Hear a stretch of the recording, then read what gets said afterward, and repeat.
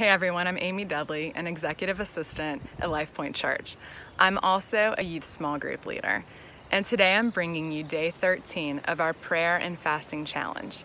Today we are praying specifically for healthcare workers. Now, this isn't only the doctors and the nurses, but also the administrators, the janitors, and anyone else that helps make our healthcare system work during this pandemic.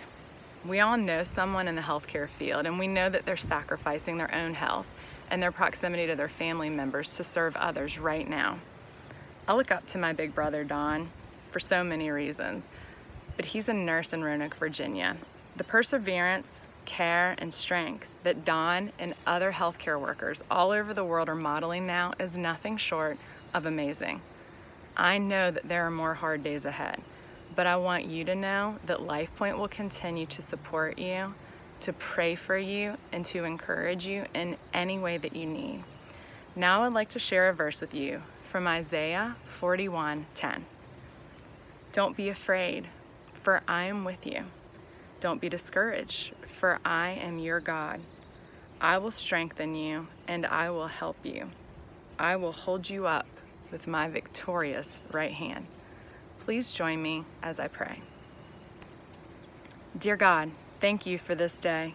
I know that this day is hard and there are more hard days ahead, but we are thankful for you, for your love, and for your Son, Jesus.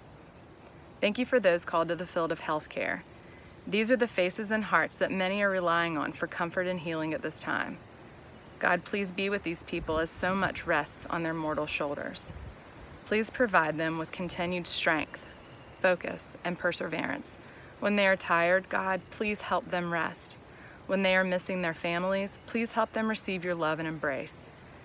Today, I also pray that the appropriate supplies be continuously replenished for these folks that need it the most to keep them safe and their families safe as well.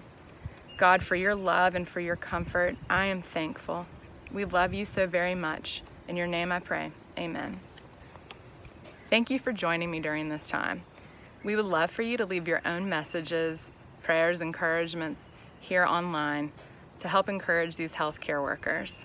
I look forward to seeing the way that God shows his mighty power throughout all of this.